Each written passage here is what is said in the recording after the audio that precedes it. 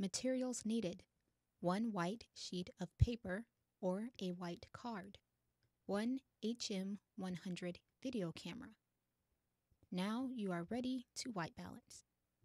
Step 1 Turn on the camera. Step 2 Open the lens cover.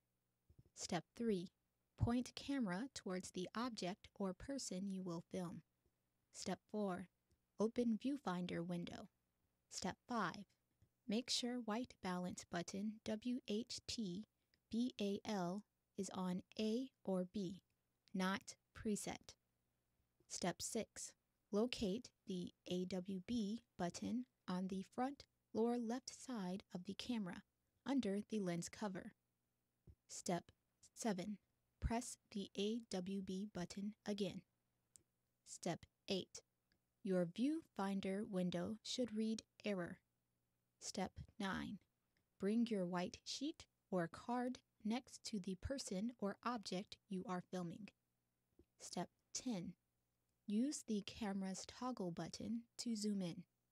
Step 11. Make sure the white from the card or paper completely fills the viewfinder screen. Step 12.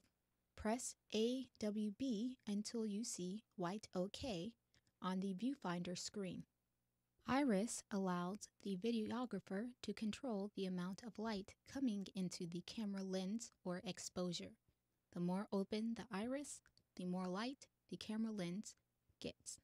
The more closed the iris, the less light to the camera lens. Step 1. Point camera toward the object or person you wish to film. Step 2. Zoom in to focus, then gradually zoom out.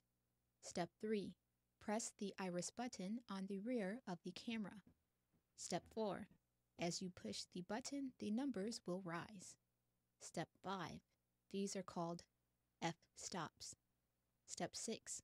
F-stops are stops along the iris ring as they progress up.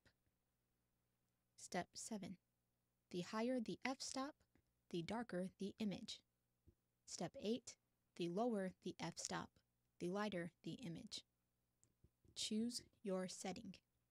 You have now done Iris.